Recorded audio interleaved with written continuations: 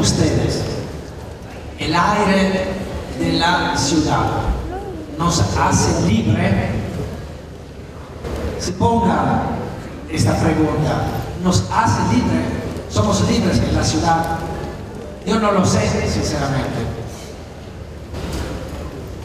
Aún fue unos siglos, hace unos siglos en la Europa, cuando los esclavos o los paisanos llegaban a la ciudad, se quedaban libres. Se quedaban libres y en el mismo tiempo la burguesía que estaba naciendo aún más tomaba poder. Esta misma pregunta creo que tenemos que hacerla frente a lo que está pasando. Estamos hablando de una crisis urbana, yo digo que es bueno que haya una crisis urbana. Estamos pasando en un momento en el cual ya más de la mitad de la población mundial vive en las ciudades. Y ustedes se dan cuenta que todos los poderosos, incluso Naciones Unidas, en su programa Habitat, que está reuniendo en estos días acá en Medellín, habla de la ciudad como motor de desarrollo, como el único futuro posible. Yo creo que tenemos que tener miedo de este tipo de conclusiones, de un análisis, de un diagnóstico, que siendo mal arraigado en la, en la realidad, riesga de desmadrar todo futuro. Porque ustedes saben que hay más de mil millones de personas que hoy día, hoy, hoy estas horas, están sin techo, están mal alojadas, están excluidas de las ciudades, no solamente de las ciudades, sino también de la vida. Entonces, cuando vemos las luchas que hay en el mundo por el derecho a la ciudad, que tomar en cuenta las distintas matices y qué tipo de ciudades y qué tipo de derecho a la ciudad estamos hablando. Porque yo creo que cuando también los poderosos ahora se están llenando la boca de esta palabra, ¿no? derecho a la ciudad, tengo miedo, tenemos que tener miedo compañeros. Porque si ellos hablan de derecho a la ciudad, están hablando porque el derecho a la ciudad no es nuestra ciudad, es el derecho a la ganancia, es el derecho a explotar los territorios, donde hay más la población mundial, evidentemente es, evidentemente es una cosa muy concreta sobre qué tú puedes explotar, reproducir el ciclo del capital. En síntesis, yo creo que en este momento la crisis nos ofrece una oportunidad muy grande, creo que es única, y tenemos que tomarla súbito, ahora, porque seguro hay desigualdades, la gente tirada a las calles, seguramente hay conflictos urbanos, pero yo no estoy tan seguro que estos conflictos pueden desembocar en una verdadera alternativa.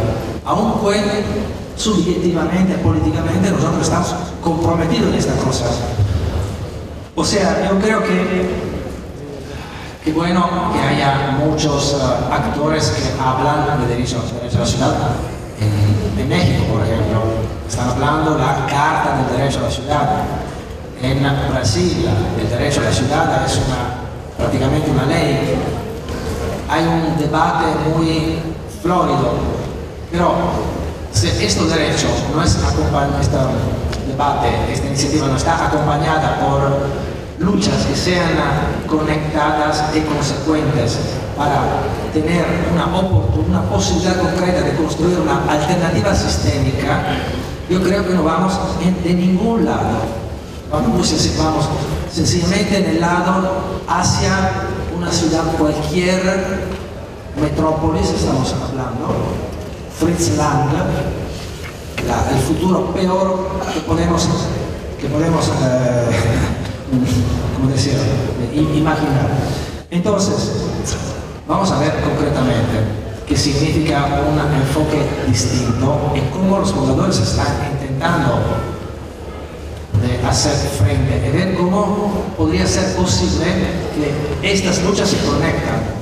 Porque cuando la Alianza Internacional de los Habitantes hace, hace algunos años empezó a proponer la Asamblea Mundial de los Habitantes, empezó a proponer la vía urbana y comunitaria, entonces empezó a proponer de hacer converger, hacer unidad de las distintas luchas no, esta propuesta no ha sido una propuesta sencilla para tener un lema, algo así, o algo distinto, no. Sencillamente porque las luchas, los compañeros de la red y de otras redes se dan cuenta que hay muchos límites en la lucha de cada uno. Es una fortaleza tener raíces, pero es una, un límite enorme. En estos días, ya repito, Homo Habitat está debatiendo de la ciudad del futuro están debatiendo para preparar la próxima etapa que es Habitat 3, es la cumbre de Naciones Unidas que sigue la cumbre, la primera en Vancouver en 1976, la segunda en Istanbul en el año 2000 y la próxima va a ser en Istanbul en el año 2016. Está preparando esta cumbre donde van a tomar decisiones se llama Manifesto por la Ciudad. En este manifiesto es una glorificación de la ciudad actual, donde en algún lugar se puede entender derecho. La realidad es que están hablando de la ciudad como motor del desarrollo. El desarrollo hasta ahora, disculpen, pero veo que solamente es en una dirección, explotación, ganancia, reproducción del capital están hablando del futuro urbano como el único posible, están hablando del partenariado público-privado, me dice que acá en Colombia hablan de alianza público-privado, como la única posibilidad para ofrecer políticas para la, para la población. En realidad lo que está pasando es que están preparando el terreno ideológico para una alianza que en su expresión peor va hacia la llamada ciudades modelo. No sé si ustedes conocen la propuesta hecha por un americano, no tan lejos de aquí, en Honduras, regido, me dicen, no por la democracia, donde en estos días, después que la lucha de los pobladores ha logrado bloquear la reforma de la Constitución, bloquear todas las propuestas, todavía han, han presentado otra vez la propuesta de ciudad de modelos. Ciudad de modelos quiere decir que es el capital directamente que decide qué hacer en un determinado territorio.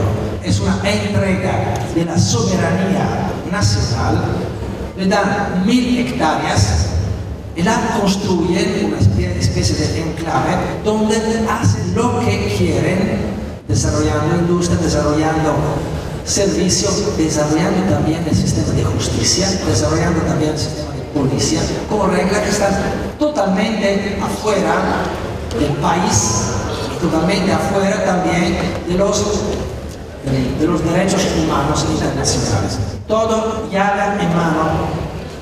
Esta es la peor expresión del partenariado o alianza público-privada.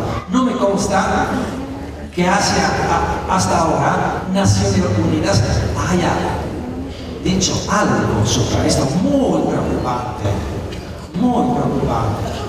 Cuando han empezado a hablar de este tipo de propuestas hace dos años en Honduras, hemos enviado a Naciones Unidas una carta, no, todavía no respuesta. Les digo una cosa más, Naciones Unidas, frente al problema más evidente, más patente, lo que significa desigualdad en las ciudades, es decir, los desalojos que hoy en día afectan más de 60 millones de personas, ha borrado se llama indicador Slum Index, es el indicador sobre la pobreza urbana. No existe, no existe. El indicador sobre desalojos. Han hecho una cosa peor, han cancelado la única posibilidad de tener una interlocución con ellos sobre el tema específico de desalojos había hacia eh, cuatro años un eh, comité consultativo sobre los desalojos, integrado por distintas personalidades también por nuestras paredes, como esta, esta institución hacía misiones en distintos países, hacía, apoyaba de hecho las luchas por el derecho de vivir en la ciudad, han pensado bien de borrarlo completamente. Ahora Naciones Unidas está aséptica. No hay microbos, hay, pero sí la llaman sociedad civil, hay ONG, hay gente que vive de proyectos, hay gente que dice, por favor, si me inviten en este debate sobre el derecho a la ciudad, sin tener raíces y sin tener un impacto concreto. Al máximo van a poner una coma sobre un documento que pero está lleno de análisis y propuestas que son la recomposición del capital como salir de, este, de esta situación.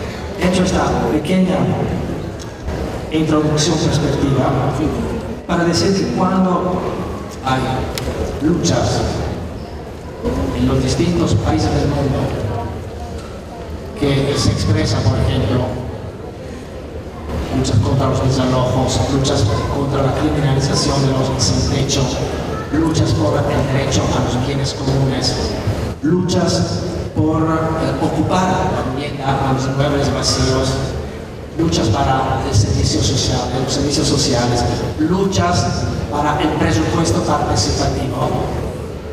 Podría hablar muy largamente sobre, esta cosa, porque allá están, no, son fotografías, cada una de estas fotografías muestra una lucha, por ejemplo, esta es una lucha contra los desalojos en la República Dominicana, esta es una fotografía del Tribunal Popular contra los desalojos en Ginebra, esta es una lucha en Brasil contra los desalojos debido a, a la Copa, esta es la lucha victoriosa de los compañeros de Venezuela, espero que estén allá, que han logrado una ley contra los desalojos.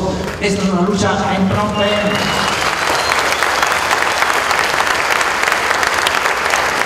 Mira, esta lucha en Phnom una comunidad que ha sido desplazada, donde estaba muy bien ubicada en una laguna para hacer espacio a especulación inmobiliaria.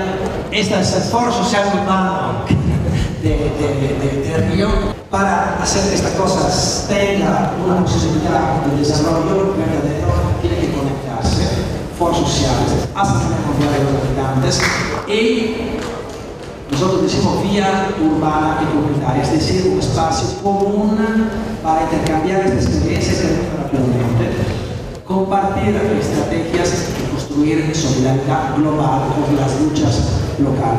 De esta manera sí vamos a tener una esperanza de poder construir un pacto social urbano alternativo, fundamentado en los derechos y fundamentado en nuestra responsabilidad de ser actores que gobiernan, construyen y deciden para nuestros territorios en armonía con el campo, en armonía con la naturaleza. De esta manera vamos a preparar Hábitat 3 y vamos a estar más allá para redistribuir la riqueza que nosotros producimos y de que hemos derecho. Este es el derecho a la ciudad, el derecho de las ciudades rebeldes contra el capitalismo.